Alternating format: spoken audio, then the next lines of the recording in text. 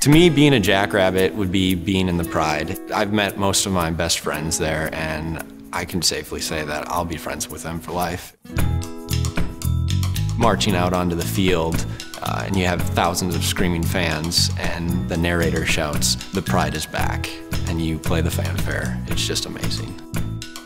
I'm involved in IEEE, which is the Institute of Electrical and Electronics Engineers. I'm the vice president for that organization on campus here. I'm also a member of the Joint Engineering Council, and uh, I just started working on a Formula race car this year, so that should be really exciting. After I graduate, I'd like to do embedded design. Embedded systems are found everywhere. They're used in MP3 players, cameras, uh, basically anything with electronics that requires little user interface has an embedded system. I'm building a, a light up Christmas tree for uh, IEEE that will pulse to music and then have different patterns go around the tree. So that's something I'm really looking forward to completing and showing off in the union. My experience at SDSU has been really good because the professors are always there on hand just to help you.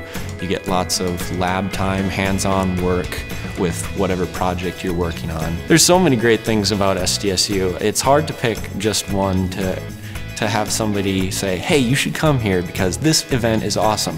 There's, there's too many things. You have to come here and experience them for yourself.